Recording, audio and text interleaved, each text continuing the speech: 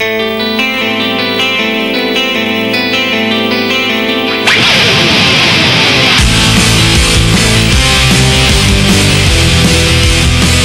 this your first time in Greece? Yep. I never had the opportunity, the money and the time to come here before, so I'm looking anxiously forward to it. I have to inform you that everybody here loves your music. No, not everybody, I'd say, Yes, everybody.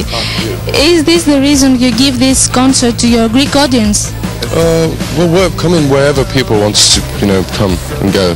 So it's beautiful, you know. I've always wanted to see Greece, and it's nice if, if there's people that are, who are interested enough to see us live. So it's going to be beautiful. Uh, are you going to have any late vaca- vacation here in our sunny country? Actually, we have to straight away after the gigs. We have to go to England, and uh, from England to Spain, and from Spain to blah blah blah. We're continuing the tour until early December. So it's going to be a while.